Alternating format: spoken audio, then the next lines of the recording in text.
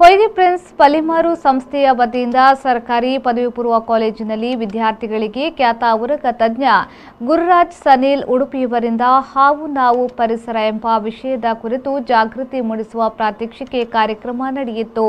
ಜೀವಂತ ಹಾವುಗಳನ್ನು ತಂದು ಅವುಗಳ ಪರಿಚಯವನ್ನ ಮಾಡಿಸಿದ್ರು.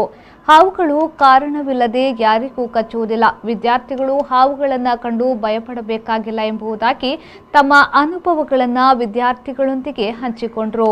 ಈ ಕಾರ್ಯಕ್ರಮದಲ್ಲಿ ಕಾಲೇಜಿನ ಪ್ರಾಂಶುಪಾಲೆ ಗ್ರೇಟಾ ಮೊರಾಸ್ ಅಧ್ಯಕ್ಷ ಸ್ಥಾನವನ್ನು ವಹಿಸಿದ್ರು.